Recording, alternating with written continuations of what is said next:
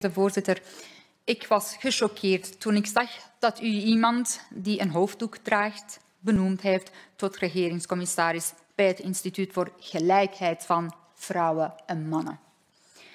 Deze persoon moet de gelijkwaardigheid van mannen en vrouwen kunnen garanderen, terwijl zij zelf niet eens in deze gelijkwaardigheid gelooft.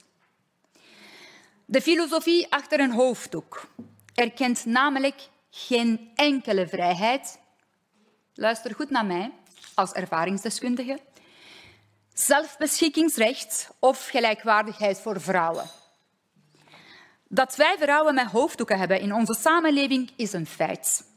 Maar hen promoveren tot iemand die garant moet staan voor de gelijkwaardigheid man-vrouw is onaanvaardbaar en zelfs cynisch mevrouw de staatssecretaris. Deze beslissing druist trouwens ook in tegen de neutraliteit van de staat en is ingegeven door electorale overweging.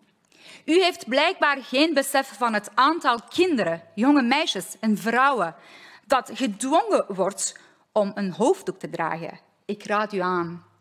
Ga eens langs onze scholen en luister daar eens naar de schrijnende verhalen over de hoofddoek en keuzevrijheid.